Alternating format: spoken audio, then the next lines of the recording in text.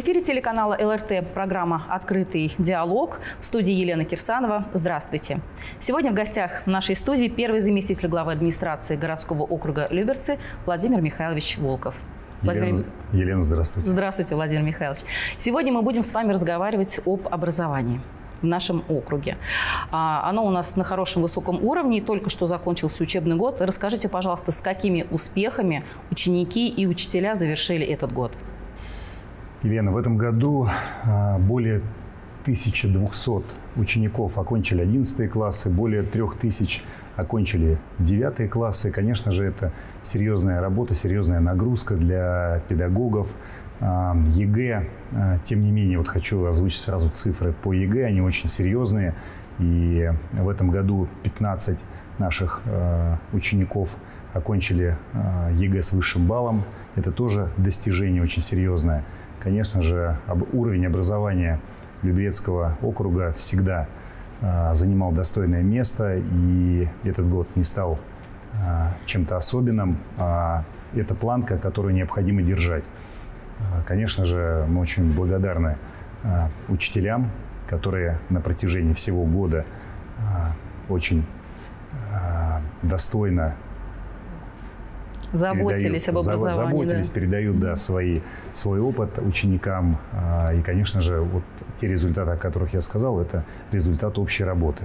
Ну, конечно же, родители, которые а, каждый день с своими детьми а, проходят также курс обучения, можно сказать, и сегодня уже можно подводить итоги.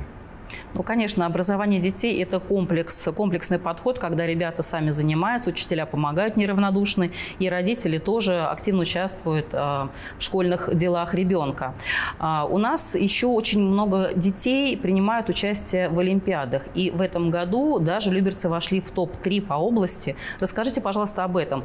А, какое значение вообще имеют вот такие Олимпиады школьные в жизни ребят, и по каким предметам ребята принимали участие в Олимпиадах? В Олимпиадах действительно мы вошли в тройку а, городов, городов Московской области. А, ну, это также очень серьезный показатель. И самое главное, что Олимпиада дает а, определенный задел, багаж опыта, багаж баллов, которые можно впоследствии использовать при поступлении в высшее учебное заведение. Это очень важно, и мы часто общаемся с родителями, с детьми на эту тему. И есть ребята, которые это понимали изначально, принимали активное участие. Есть те, кто упустил время, конечно же, об этом сейчас жалеют. Но год от года показатель участников растет. И вот в этом году мы вошли благодаря такому большому количеству наших школьников, учеников и заняли третье место. Это ну, очень как серьезно. Люб, как любой, это очень, конечно, это большой такой показатель, серьезный, это большая гордость для нашего округа. Ну и как э, любое соревнование, важно готовиться к нему, потому что большое количество знаний ребенок получает, пока готовится к этой Олимпиаде. Как у нас укомплектован штат учителей? Вот как с этим дело обстоит? Насколько к нам учителя с удовольствием идут в округ? Может быть, кого-то не хватает. У нас есть возможность пригласить учителей к нам работать. Знаете, у нас очень э, хороший процент укомплектованности учителями учебных заведений. Процент этот 98%. Всего лишь 2% нам не хватает для того, чтобы на 100% закрыть. Ну, наверное, это сделать фактически невозможно, потому что всегда есть текучка, есть э, определенные трудности и с э, педагогами начальной школы, есть э, трудности, связанные с педагогами математики, преподавателями, ну, разного рода. Конечно же, все директора школ ищут возможность привлечь новые кадры. Особенно, конечно же, мы заинтересованы в молодых педагогах, выпускниках, потому что глаза горят, они стараются, у них все время много идей, и работа это не останавливается ни на один день. Поэтому всегда э, будет скажем так, определенная проблема в том или ином учебном заведении, но, конечно же, э, задача руководителя найти и на 100% укомплектовать, заинтересовать э, своих сотрудников, своих учителей для того, чтобы они пришли работать. Но не нужно забывать и о том, конечно же, что Люберцы являются э, приграничным городом к Москве. И порой одна школа наша, Люберецкая от Московской, э, находится на расстоянии перехода пешеходного с одной дороги на другую. И поэтому, конечно же, многие, э, есть такие, точнее, не многие, а такие случаи э, встречаются, что педагоги переходят в новые школы, уходят от нас, но это, это жизнь, от этого никуда не деться. Но еще раз э, подчеркну, что уровень образования Люберецкого, Люберецкого округа на очень достойном, хорошем уровне, поэтому цифры говорят сами за себя, которые мы сейчас с вами обсуждали. Если сейчас нас слушают э, студенты, выпускники педагогических вузов, куда можно обратиться, чтобы работать в школах э, Люберецкого округа? В управление образования, на сайт администрации, абсолютно по любому адресу могут э, обратиться, и мы будем заинтересованы в новых кадрах – если человек без опыта, насколько вот, э, получится у него устроиться сразу? Все-таки с опытом э, хочется всегда взять человека. Ну, без опыта такого человека быть не может. В любом случае институт закончил, есть диплом. А Определенный дальше, опыт, а, да, да, дальше уже желание, и, соответственно, mm-hmm. когда придет на собеседование, тогда и будут делаться определенные выводы. Вот по поводу мотивации педагогов тоже хотелось бы отдельно поговорить. А какую поддержку оказывает государство, округ преподавателям? Если человек талантливый, на самом деле глаза горят, дети за ним тянутся, может ли как-то государство, округ помочь этому человеку? У нас на самом деле очень много мер поддержки. Необходимо э, прийти, ознакомиться с ними. И, конечно же, мы всегда будем искать возможности привлечения кадров, которые э, не имеют Э, на территории округа жилья мы будем э, изыскивать возможности, в том числе э, решения таких вопросов, ну и ряд мер поддержки, которые необходимо, еще раз повторюсь, при поступлении на работу уже озвучить, какие необходимо подобрать чем помочь? Статьи, да, для того, чтобы человек чувствовал себя комфортно, конечно. Индивидуальный подход. Конечно, индивидуальный подход случае. очень важен. Еще такой важный момент – вторая смена. До сих пор есть пока в Люберцах э, э, школа, где действует вторая смена. Для родителей, конечно, это не очень удобно, и детям бывает тяжело учиться. Скажите, пожалуйста, есть ведь разные способы эту вторую смену исключить, да, чтобы не было ее. Каким образом проводятся работы в округе, чтобы второй смены не было, чтобы все дети учились с утра? Конечно же, вторая смена э, по количеству учеников снижается количество э, учеников, обучающихся э, именно в две смены. Но для того, чтобы решить эту проблему, есть один самый надежный способ, которым на протяжении системно каждого года, каждого дня занимается и блок строительный в округе, и все, кто так или иначе отвечает за этот вопрос, это строительство школ. Мы на этом месте э, не стоим, мы развиваемся. На данный момент, как пример, заложено и начато строительство новой школы в Красково на 1100 мест. Это очень серьезный объект. Самое главное, что он будет построен за один год. Буквально э, 2-3 недели назад приступили только к освоению котлована, строительству.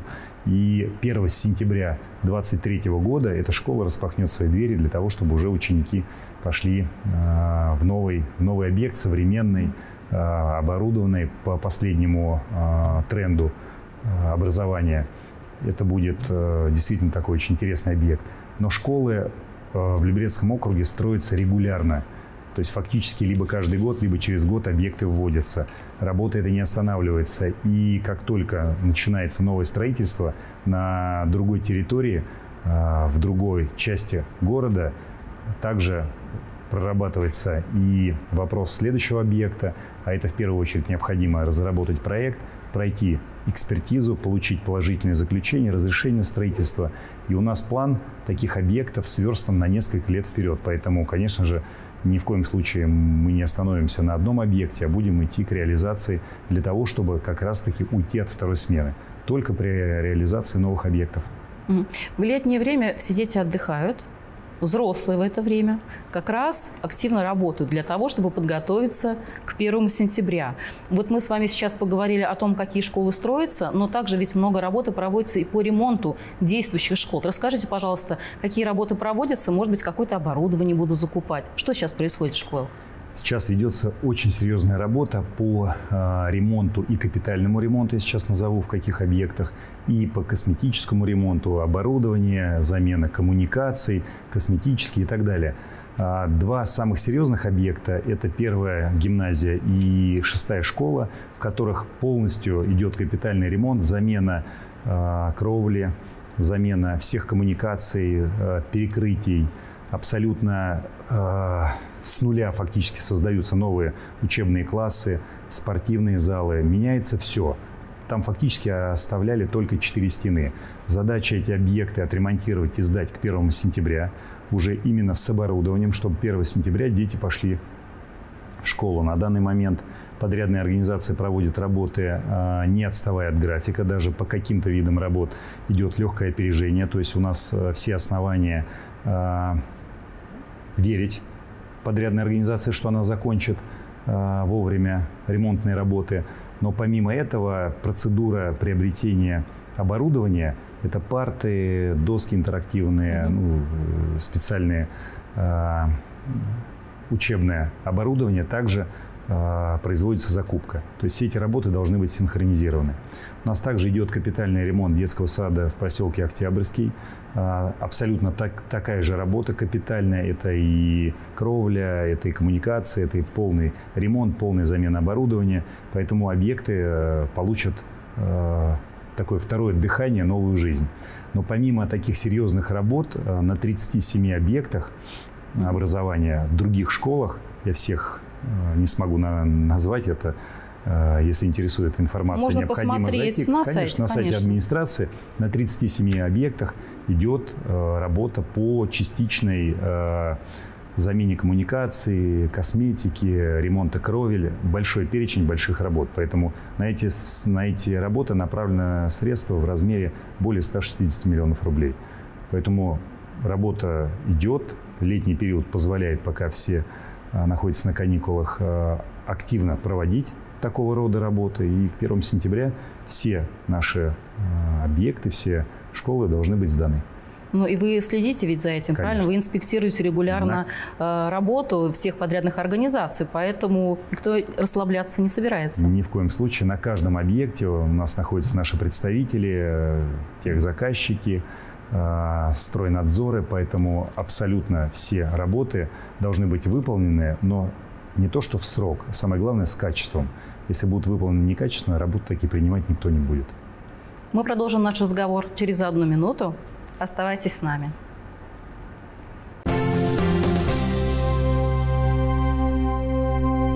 Открытый диалог на телеканале ЛРТ. Я напоминаю, что сегодня у нас в студии первый заместитель главы администрации городского округа Люберцы Владимир Михайлович Волков. Владимир Михайлович, мы с вами говорим о образовании и цифровое образование. Сейчас ведь очень большая идет цифровизация обучения. Дети постоянно и так в компьютерах, и получается, что задания в школах им тоже задают на компьютерах. С одной стороны, 21 век диктует свои правила. С другой стороны, ну ведь дети могут совсем забыть книжки. Вот как вы считаете, цифровое образование, плюсы и минусы на эту тему можем порассуждать? Конечно, цифровое образование и вообще цифра а, – это уже наша жизнь, и от нее никуда не деться. Телефоны, планшеты, компьютеры вошли в нашу жизнь неотъемлемо. А, есть же даже страны, которые уже отказываются от бумаги, такие как Южная Корея, и в школе фактически дети писать не умеют, пользуются. Это, конечно, перебор, абсолютно точно. У нас такой практики нет, но без компьютеров, без интерактивных досок, без робототехники жизнь в будущем, она не имеет никаких перспектив. Поэтому наши дети должны уметь обращаться с техникой, должны понимать, чем быстрее они освоят ее, тем э, больше будет э, объем информации, который они смогут воспринять. Поэтому это, это естественно и это правильно.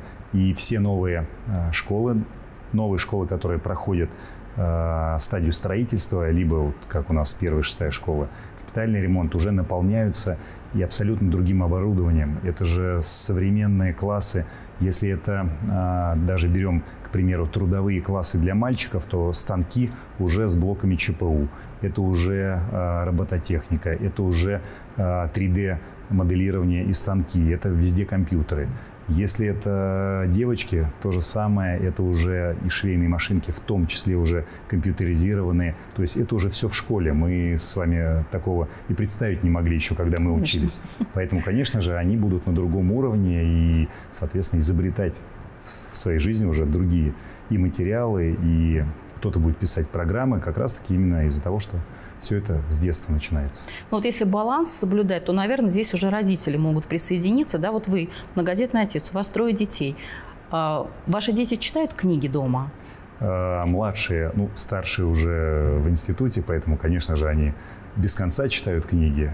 Все, что Именно книги, не, не компьютер, я имею в виду. А, вот, Бумажные нет, конечно, носители. Конечно же, дети в большей степени читают, даже читают сейчас на компьютере, на планшете что младшие читают, младшие как раз-таки, ну, фактически они только изучают еще а, грамматику, а, а все, что связано с играми, с а, таким свободным времяпровождением, это игры, игры в основном сейчас интуитивные, это также и э, касание с экраном, а, какие-то такие алгоритмы, понятные, которые нужно разгадать. Даже порой ты не можешь открыть какую-то программу, пока не выполнишь определенные действия настолько сейчас все переплетено, но без книги, без э, изучения классики, без души э, человек абсолютно точно будет неполноценен, если он будет э, пользоваться только электронными носителями, не читать книги. Конечно же, это обязательная программа, и я считаю, что определенный набор литературы,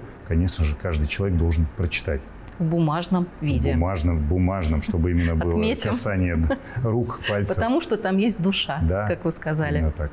Почти год назад в Московской области запустили проект «Флагманские школы». Расскажите, пожалуйста, Владимир Михайлович, что такое флагманская школа и чем она отличается от других школ? У нас в округе какая школа флагманская? У нас 16-я школа является таковой флагманской проект, который, о котором вы сказали, запустил губернатор Андрей Юрьевич Воробьев. И, конечно же, это лучшая школа, которая находится на территории округа. А, наша школа вошла в топ-100 школ Московской области, занимаем мы 20 место. Это очень высокий уровень. И, конечно же, это школа, где а, постоянно внедряются какие-то новые а, методики обучения,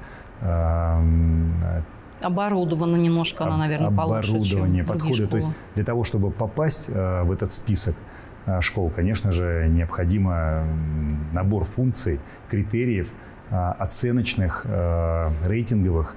Владимир Михайлович, сейчас продолжается набор первоклассников. Родители могут подать документы. Расскажите, пожалуйста, каков алгоритм подачи документов в школу? Куда подавать? Там, где живешь или туда, где хочется? Ну, конечно же, правильно подать документы там, где живешь, но разные ситуации бывают семейные.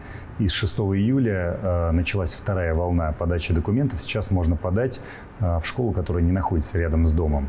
Для этого необходимо подать документы на сайт госуслуг и э, дождаться решения. Угу.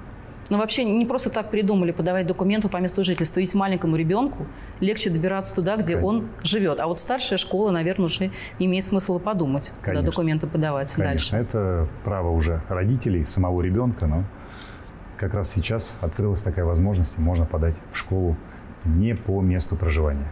Сейчас к нам ведь приехали э, люди из Донецкой республики, из Донецка и Луганска. Там тоже есть дети среди этих семей. Если они приходят в школу подавать документы, документов Владимир Михайлович, летом дети отдыхают по-разному. Кто-то уезжает на море, кто-то едет в деревню, а кто-то остается в округе. И задача администрации сделать так, чтобы детям, которые остались в Люберцах, было интересно, полезно проводить лето. Расскажите, пожалуйста, вот младшие школьники, старшие, как они могут провести время здесь? Вы очень интересный вопрос задали. Сейчас э, на территории округа в этом году впервые применяется такой проект, как «Умные каникулы». Э, в самой школе организованы разные абсолютно площадки по разному возрасту, по классам, по интересам. Это и увлекательные э, уроки, это и спортивные занятия, это и трудовые. Но помимо того, что умные каникулы работают на территории именно учебного образования, есть еще также трудовые лагеря, и можно принять участие и поработать.